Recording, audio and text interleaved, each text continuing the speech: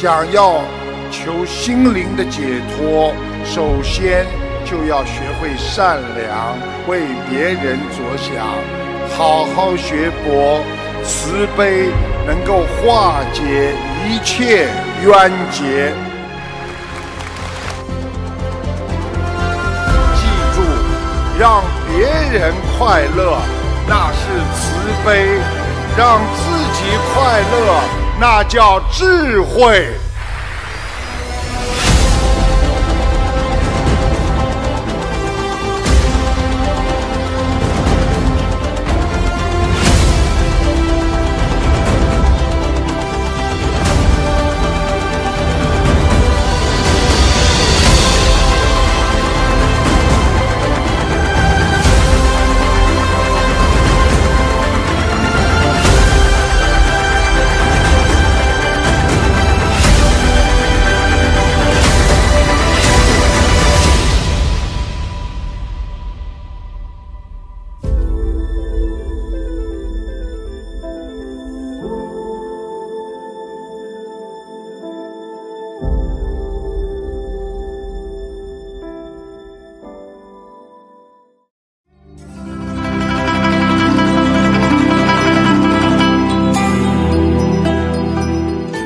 一个小和尚，他每天在庙里潜心的研究佛法、念经、参禅打坐。十年之后，他感到自己的慧根已经升起，已有佛心。有一天，方丈突然召集全寺上下，宣布要挑选有慧根的小和尚接任方丈一职。从此，小和尚更加的用心，但是过了一段时间，他却感到自己不进反在倒退。原来仅有的一点佛心，反而变得是有是无了。他很纳闷，他就去问方丈，方丈没有直接回答他的问题，却告诉他：“哎，我们下午到集市上去买甜瓜，要他一起去。”这个时候，他们到了一个卖甜瓜的摊贩前面，挑中了一个甜瓜。这个摊主啊，拿起随手掂了一掂，说：“一斤六两。”小和尚觉得非常的奇怪，他怎么就这么准呢？马上用边上的秤称了一下，结果一斤六两，丝毫不差。这时候摊主说：“哎，我买卖瓜卖了四十多年了，绝对不会错的。”啊，小和尚非常的诧异。这时候，老和尚突然说：“我们只要买一个甜瓜，你帮我们找一下，你放在手上掂一下，如果你说中了它的分量，，no。”我把这一锭银子给你。说着，拿出了一锭银子，大家一看，足足有一两重，够买这一摊子的甜瓜了。大家都满怀希望地看着这个摊主。结果，摊主把甜瓜拿起来，左手掂掂，右手掂掂，不合适，真的吃不准了。然后咬了咬牙说：“嗯，这个瓜一斤三两。”随后方丈就把秤拿起来一称，结果只有一斤半，整整差了二两。所有的人都大惑不解，很是纳闷。他们心想：这个摊主今天怎么会这么不准呢？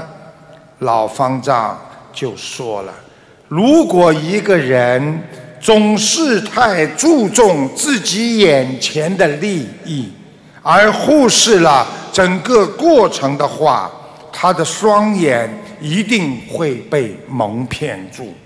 也就是说，这个摊主为了拿这一顶银一锭银子，他就不能说准这个分量，因为心中有偏差。所以说，我们不管做什么事情，要保持一颗平常的心。小和尚终于明白，回去潜心修行，终于成了。后来有名的大愚禅师啊，人间太执着，我想要的东西，你不一定能够得到它。只管耕耘，不问收获，是学佛人的基本理念。我们每天行善，你三百六十五天就是一个大善人；你每天动一个坏念头，三百六十五天你就是一个大恶人。我们学佛人每天学一点佛，我们一年下来就是一个很好的学佛人呐。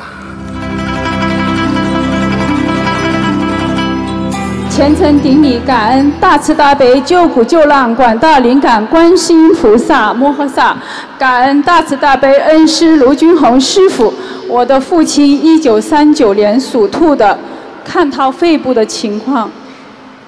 三九年属什么？兔子。这里出问题了，一滩黑的。是的。而且，你父亲肺里边有积水。是的。抽掉过很多。对对。抽了抽了很多出来。我告诉你，他现在的肺功能减退，所以他呼吸困难。是。他再这么下去的话，他以后要用氧气的。所以我告诉你，他。最主要是年轻的时候有沙业。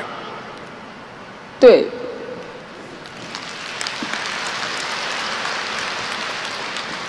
明白了吗？明白了。你现在第一叫他治治疗，第二把他身上的一些灵性把它超度掉。我看有很多小灵性。是。小房子至少要慢慢念，全部要念，大概要。至少要八百七十张。哦，好的。好吧。需要放生多少鱼？是否？哎呦，很多。先放六千条。六千条。嗯。嗯。啊。好。你爸爸，我告诉你啊，这个智商已经出问题了。是。他搞不清楚了。是的，是的。鼓掌。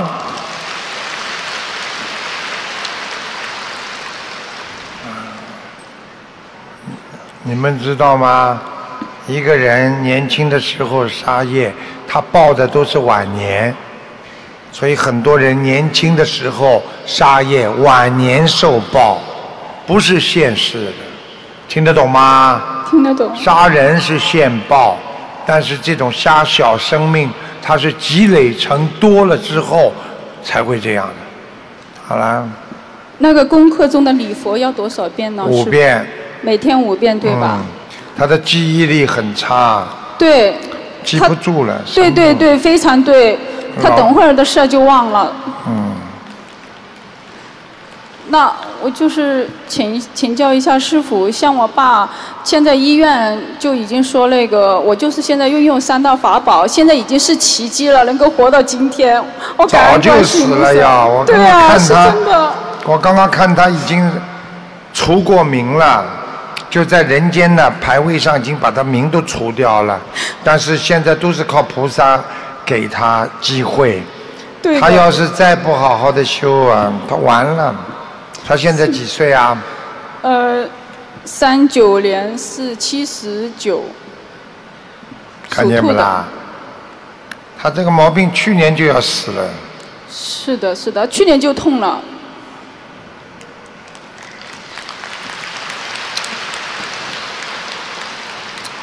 你好好的吧，要么用你的功德让他多活一点，否则的话很难，好的，感恩明白了吗？好，明白。你要让他活得长，你自己要不停做功德，但是你不能全部把功德给他的，你只能把这种法会的功德给他。我告诉你们，给功德是最快的。如果一个人要救一个人，把自己功德给他是最快，但是绝对不要超过五十，超过五十你可能自己就倒下来了，听得懂吗？听得懂。好啦，好，感恩观世音菩萨，感恩师傅。嗯，好的，他没什么大问题，让他多喝水，而且要给他吃那种那个枸杞，枸杞泡茶，他的肾脏很不好，明白了吗？腰非常不好，晚上小便多的不得了。好了，去吧。感恩菩萨，感恩师傅。这位佛友讲粤语，我给他翻译一下。啊啊他主要想问两位亡人，还有一个佛台。呃，第一位亡人是他的父亲，名字叫曾伯林。曾柏是老伯伯的伯，林是树林的林。曾是什么曾啊？呃，就曾经的曾，就姓啊，曾曾啊，曾啊，去世呃年份是一九九六年。曾伯林是吧？嗯。曾伯林，曾柏林是他的谁啊？他的父亲。曾柏林，曾柏林，嗯，嗯，看到了，个子不高，眉毛蛮浓的，你问他，嗯，鼻孔还蛮大的，已经在阿修罗道了，哦，谢谢谢谢谢谢。嗯，感恩师傅。然后第二位是他的母亲，叫何苏女，苏是苏东坡的苏，女是女性的女。何对，然后是一七年去世的。何苏女，哎呦，他妈妈一直念经的，哎呦，他妈妈厉害，到色界天了，哎呦，啊、他他确认说妈妈经常念菩萨的圣号。看见了吗？看见了吗？我告诉你，你们不念经，你就念圣号，你都照样上天。你天天把观世音菩萨放在嘴巴上就好了嘛。他还说母亲生前经常拜观世音菩萨。看见了吗？我讲得對唔對啊？啱啱啱。啊，得唔得？識唔識啊？識。啊，好，感恩师傅。他本人是一九六二年的虎，想问一下佛台。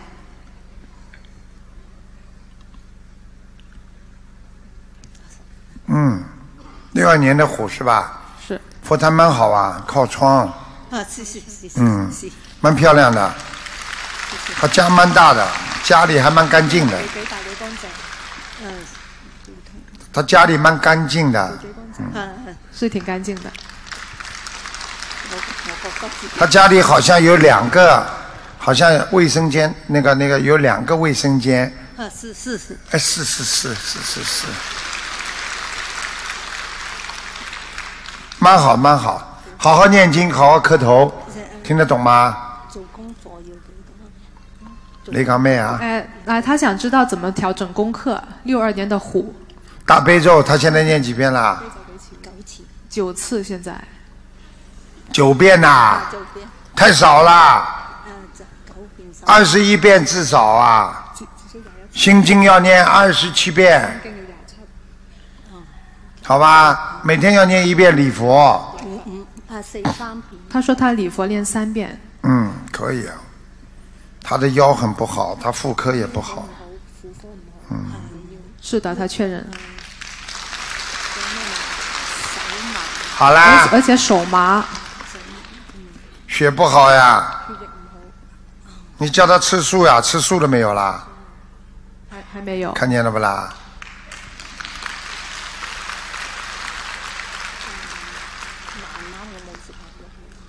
但但说他慢慢不吃牛肉了。哎呀，多不容易啊！他居然不吃牛肉了，哎呀，好啦，他说他要慢慢来，感恩。慢慢来吧，谢谢。慢慢走啊，慢慢走。感恩感恩。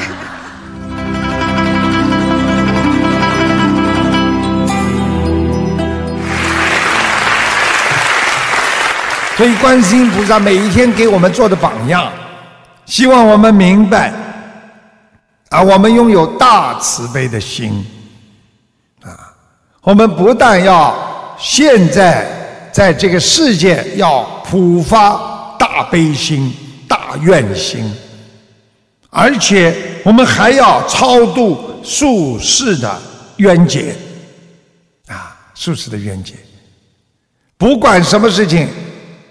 不想超度，你也要学会超度，你也要学会感恩，因为他们让我们知道了，一个人的业不是今世就能消掉的，他能够让我们知道，我们今生不能再去造业，因为我们前世宿业还没还清，所以任何的事情都要学会一种感恩的心。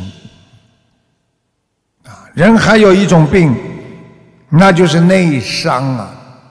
你看，我们的感情很容易受到伤害，因为别人的不理解，因为自己对别人的不理解，都会伤害自己的啊。所以你看，很多的疾病、嫉妒、嗔恨、贪爱、愚痴，都会造成我们内伤。你看看，长期嫉妒的人。你的心就变得越来越痛苦。你经常啊嗔恨别人，你的眼睛就会变得越来越干燥，你的肝和肠就会寸断。所以这一切跟你的身都有关系。所以菩萨告诉我们，一个人要想去除自己身体上的内伤。最好就是诸恶莫作。师父告诉大家，不但诸恶莫作，还诸恶莫想，不要去想，然后要众善奉行。啊，如果身体上有一些病，可以吃些药，但是你的内伤的病，你就是要学会诸恶莫想，众善奉行。我们人还有一种病啊，那是外感。外感是什么呢？受到外面的风寒呐、湿患呐、暑啊，就是说热呀、冷啊、冷病啊、热病啊，还有风啊、啊寒冷啊。那这些病呢，啊，就是我们说的外面对你的影响。其实这些病你都可以。对付的，因为为什么呢？冷了多穿点衣服，热了少穿一点，啊，注意自己保温，啊，保持一定的温度，啊。但是最难的就是因为外面的感悟，为外面所说的话，外面给你带来的那些伤心的事情，让你产生了免疫力降低，因为你的嗔怒，因为你。接受了那些不好的、那些色情的，啊，我们说啊，吃喝嫖赌，让你学的邪念了，你的免疫力就开始下降，你的思维就开始不正，你的眼睛就不敢看人，你好好的一个孩子就会变得颓废，这就是外感。所以像这些病应该怎么样来对治？首先。管好自己的六根，控制好自己对应的六尘，慢慢的学会吃素、念经、许愿、放生。所以有大病的人，《黄帝内经》讲啊，我们如果任何一个人生病了，要杜绝啊邪淫之事。如果这个人要生大病了，或者已经生病了，绝对不能去碰这种邪淫之事和戒杀生，一定要守戒，因为你不碰，你就是在种善根。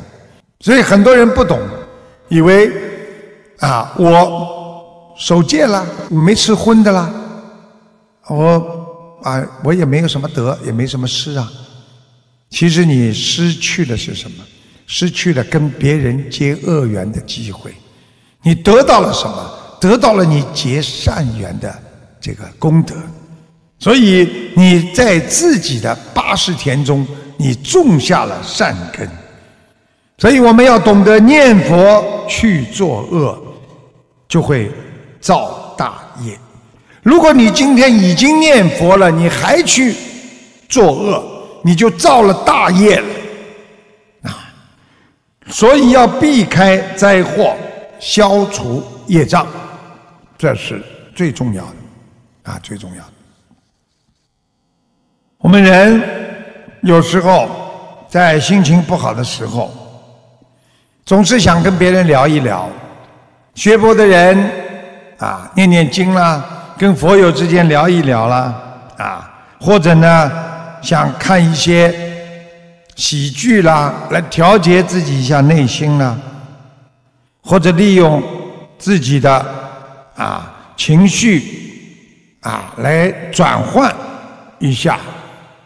还有的人就希望跟一些正能量的人多多沟通，调节自己的情绪，啊，去除自己内心那些悲伤的传染。所以在心理学上面也讲，人在内心当中根植了一些法喜，比方说想到一些。未来的帮助别人的事，想到了曾经别人帮助你的事情，你的面部肌肉，你笑一笑，而神经就会向你的大脑传递那种脑电波，那些信息，快乐的信息，让你的心情会有特别好的感觉。所以我们学佛人就是这样，你帮助别人的时候，你会忘记自己的烦恼，你会从别人身上得到法喜的，别人对你的尊敬会造成你大脑神经的兴奋。当你能够帮助别人，别人感恩你的时候，你非常容易受到他感恩的传染。和影响，变得让自己非常的幸福。所以，能够经常去帮助别人的人，他的内心非常幸福。所以我们说，弥勒佛他帮助了别人，他让别人法喜充满。啊，观世音菩萨的慈悲，啊，我们伟大佛陀的啊这种佛法的啊。传承啊戒律，我们把它融合在一起，就成为了你内心的一种深层次的正能量啊！所以师父希望你们好好的学佛修心，来改变自我，改变自己内心的那些愚痴。希望大家好好努力啊！我们学佛要用心啊，要远离颠倒梦想，实实在在的活在当下，放下自己过多的贪嗔痴慢疑，这样你才能像花朵一样，在自己内心生出莲花般的正能量，去除内心的负能量。我们才能走出低谷，迎来美好的明天。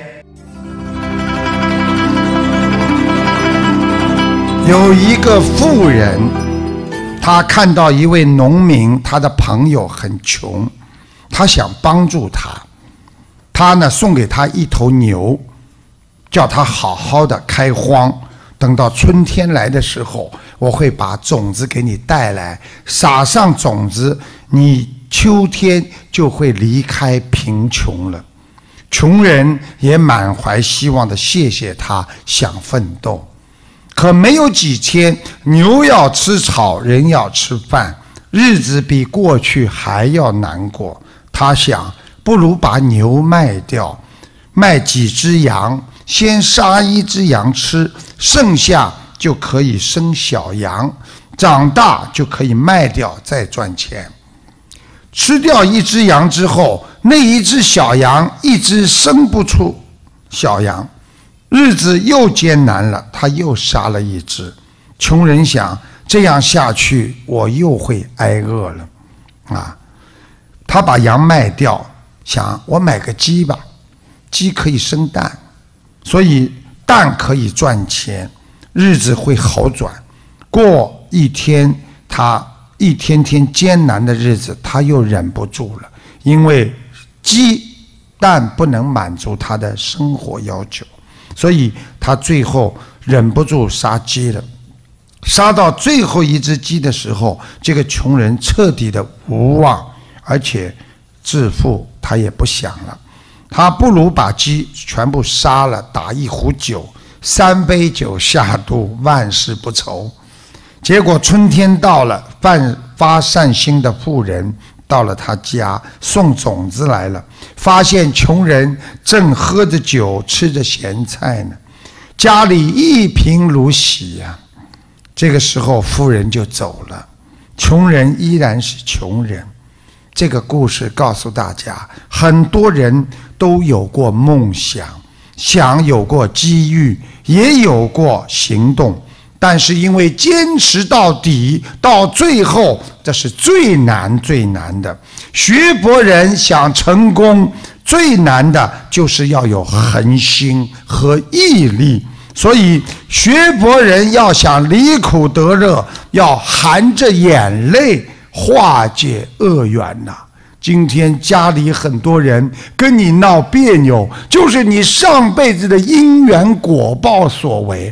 含着眼泪克制自己，忍辱精进，改掉自己的毛病。因为学佛人的痛苦是一时的。而不学佛的人痛苦，那是一辈子的。